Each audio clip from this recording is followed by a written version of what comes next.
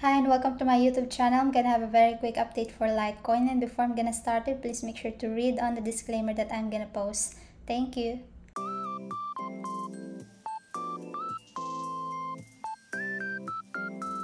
Hi and welcome back. So this is our previous chart for Litecoin where we have an update on this price right here.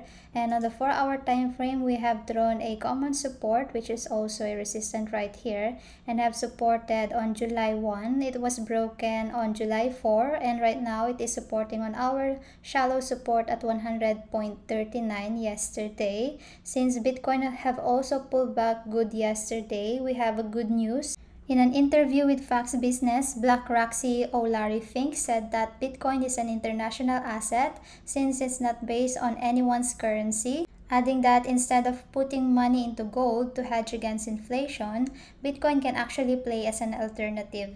And for today, what will confirm that Litecoin have supported here really strong will be our macroeconomic fundamentals. We will have JOLTS, job opening and labor turnover survey, initial jobless claims, the higher the better, PMI data, this is our index prevailing where we are in the manufacturing and service sector. If the market condition is expanding, contracting, or at the same place as last reported. So if you are trading, have your own stop loss and be diligent on your own risk management. Now for Litecoin, I'm not gonna delete this uh, support that we have. Since if it breaks this acting resistance right now at 105.74, then the price can still go back on this range right here. And if it breaks this then this one can actually also act as a resistant. And if it didn't support here because we have a bad fundamentals about the macroeconomic update then it might actually still retouch this resistant right here which can be now as a support around 92.84 where you can see it on the daily time frame if you could remember. Litecoin have had a good break on this resistant right here on June 30 we have this uh, bullish engulfing candle.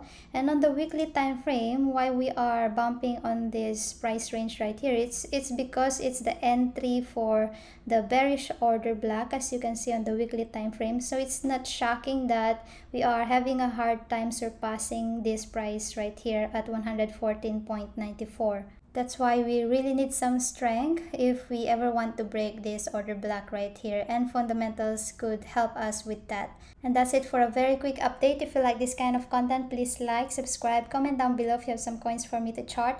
Click the notification bell so you would be updated on new videos that I'm gonna upload. Thanks for watching and have a nice day.